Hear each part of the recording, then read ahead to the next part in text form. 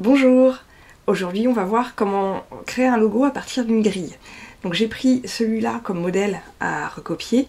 Euh, évidemment ce n'est qu'un exemple, c'est un prétexte pour vous montrer comment on se sert d'une grille pour faire facilement ce type de logo. Euh, je vous montre d'autres exemples ici que j'ai trouvé facilement sur le web. Euh, vous voyez qu'on a toujours, la, même, structure, on va construire ça avec les mêmes outils, mais on peut avoir une diversité de formes assez dingue. Donc je vous montre les outils de base, comme je vous l'ai dit, ça c'est un prétexte pour voir les outils et à partir de ça vous pourrez faire euh, tous les logos que vous voulez avec cette, cette, structure. Donc je vais prendre mon outil grille, alors là je l'avais déjà utilisé, on voyait directement, souvent il est sous l'outil trait. Donc pour qu'il apparaisse il faut rester cliqué assez longtemps pour avoir tous les outils. Je prends ma grille, je fais cliquer glisser, donc il faut que j'ai 9 cases, 9, enfin 9 rangées, 9 colonnes. Donc là, vous voyez, je n'ai pas lâché le bouton de ma souris. Je suis toujours en train de créer ma forme et avec les flèches au bas et gauche-droite, je peux régler le nombre de grilles, le nombre de lignes et le nombre de colonnes. Donc là, on va voir le nombre de lignes. Donc là, j'en ai deux. On va faire 3, 4, 5, 6, 7, 8, 9. Pour les colonnes, donc 2, 3, 4, 5, 6, 7, 8, 9. Je ne lâche toujours pas le bouton de ma souris, moi je veux des carrés parfaits. Donc je vais maintenir ma touche Shift enfoncée. Donc regardez bien, là je vais exagérer volontairement. J'appuie, vous voyez. Ça, c'est parfait. Je vais dupliquer ma grille. Donc je fais Alt. Alors, je vous ai pas expliqué, il faut d'abord sélectionner je vois que c'est sélectionné parce que j'ai mes points blancs. Ensuite, je maintiens ma touche Alt enfoncée. Vous voyez, il y a une flèche blanche qui apparaît. Ça indique que je vais pouvoir dupliquer. Seulement, je ne veux pas dupliquer n'importe comment, je veux que ce soit exactement en dessous. Donc toujours en maintenant ma touche Alt enfoncée, sans lâcher le bouton de la souris, je vais appuyer sur Shift et ça m'aligne directement ma grille. Et avec les aimants, donc les repères commentés que vous voyez apparaître en rose, je vais pouvoir la mettre parfaitement dessous. Ça, c'est parfait. Avant d'aller plus loin, on va mettre notre espace de travail en forme. Là, il est à peu près rangé, euh, mais souvent, on a des panneaux un peu partout. Là, en plus, je vous fais la démo sur l'ordinateur portable avec un petit écran, on peut vite être encombré. Donc, on va aller dans fenêtre, espace de travail, euh, je vous conseille de prendre les indispensables classiques et on fait réinitialiser les indispensables classiques. On vérifie bien qu'on a le panneau propriété qui est là. Si vous ne l'avez pas, vous faites fenêtre, propriété. Ce panneau, il vous aide toujours. Bon, je veux placer sur ma grille des lignes qui me permettraient d'avoir mes angles ici. Donc je vais prendre mon outil trait, et là, je regarde à peu près l'angle qui est ici, donc on n'a pas besoin d'avoir quelque chose de rigoureusement identique, je veux juste que ce soit à peu près, à peu près la même chose. Donc je fais un trait ici, c'est parfait. Je le sélectionne, je fais Alt, clic pour en avoir un deuxième, et là, je voudrais une symétrie. On va dans le panneau propriété, toujours en l'ayant sélectionné. Regardez ici, c'est pour ça que le panneau propriété fait gagner un temps fou. Hop, voilà. Symétrique. Parfait.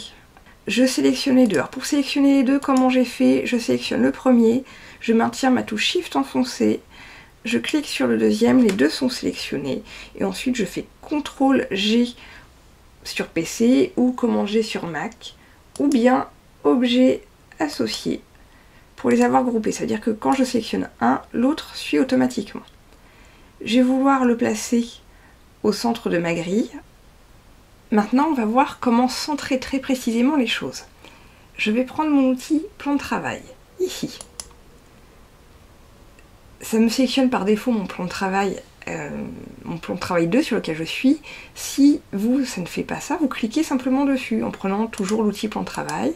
Vous cliquez sur le plan de travail sur lequel vous voulez intervenir. Dans le panneau propriété, on a option du plan de travail. Ce qui va nous intéresser, c'est de cliquer sur afficher le repère du centre. Je clique sur OK et ça me met un repère ici. On va pouvoir glisser un repère. Donc moi j'ai les règles qui sont déjà affichées. Alors, les règles, c'est la barre qui est là et là. C'est CTRL R ou commande R pour afficher. Sinon c'est dans affichage, règles, masquer ou afficher les, les règles. Je vous conseille d'apprendre ce raccourci par cœur, c'est bien plus efficace. Donc ici j'ai mes règles. Quand on fait un cliquer-glisser depuis la règle, donc par exemple ici je fais cliquer, je glisse, ça va permettre de créer un repère. Et mon repère, je vais pouvoir le positionner exactement sur le repère de mon plan de travail. Alors pour que vous voyez bien, je vais décaler un petit peu. Je fais cliquer, glisser, et comme ça je peux le positionner exactement sur le repère de mon plan de travail. Et ça, ça va me rendre service.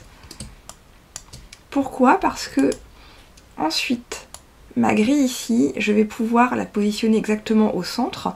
Regardez, j'ai intersection qui est marquée.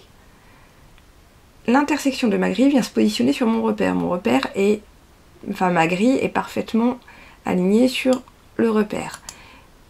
Ensuite, je prends ces éléments-là et je vais pouvoir aussi venir positionner, donc je vais zoomer pour que vous voyez bien, je vais pouvoir positionner l'intersection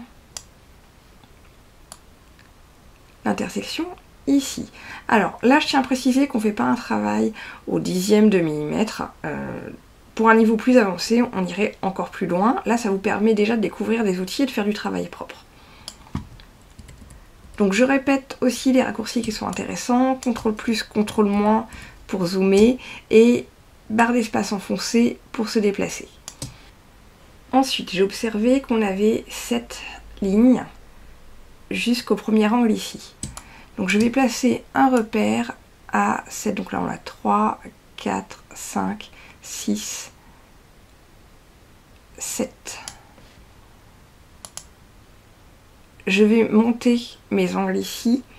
Je maintiens ma touche Shift enfoncée. Alors je commence à glisser, je maintiens ma touche Shift enfoncée pour que ça reste bien aligné. Et je viens le positionner ici. C'est parfait on voit maintenant que je vais avoir besoin de poser, positionner d'autres ongles. Ici. Pour faire cette découpe là. Donc pour ça, on observe qu'on a toujours la même épaisseur. Donc on aurait plusieurs façons de faire ça. Moi je vous montre quelque chose de simple. Je crée un carré, je vais le mettre dans la même couleur. On va le mettre en rouge.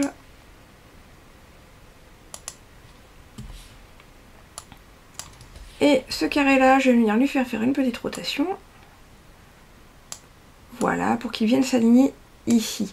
Ça va me faire un repère pour venir placer mes ongles. Juste au-dessus. Alors, je fais un cliquer, glisser avec la touche Alt enfoncée, comme on vient de voir. Et je viens me positionner ici. Une fois qu'on a fait ça, en fait, on a presque fini. Le plus compliqué, en fait, au départ, c'est de placer ses repères. Là, j'ai mis un petit peu de temps pour vous expliquer. Mais en fait, quand on sait le faire, c'est fait en, fait en, en moins d'une minute. Maintenant, on va transformer tout ça en repères. Donc j'ai fait un cliquer-glisser pour sélectionner et mes grilles et mes angles. Et ensuite, je vais aller dans euh, affichage, repères, créer les repères. Et tout ce que j'ai fait jusque-là s'est transformé en repères. Donc je ne vais pas m'arrêter là, je vais toujours dans affichage, repères et verrouiller les repères. Ensuite, ça va être assez simple. Comme je vous le disais, on a presque fini. Je prends mon outil plume. Je vais prendre une couleur rouge. Un, contour un peu plus épais pour que vous voyez bien et je vais venir dessiner point par point exactement ce que j'ai sous les yeux. Sachant que quand je m'approche, vous voyez, grâce à mes repères, ça m'aimante mon point. Alors je fais un premier clic ici. Vous voyez, je commence à avoir une ligne. Deuxième clic ici.